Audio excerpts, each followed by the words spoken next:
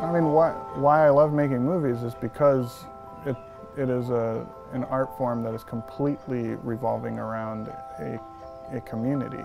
It is difficult to build that community, and when I uh, experience the the joy of working with somebody that I love as a person as well as an artist, they, then I cling to them. You know, I want to work with them on everything. Exactly one year after shooting I'm Not a Hipster, we started shooting Short Term 12. It was like the same family that had just gone through that. We just started doing another movie together.